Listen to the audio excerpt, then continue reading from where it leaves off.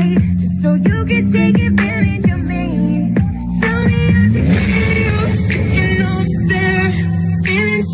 I but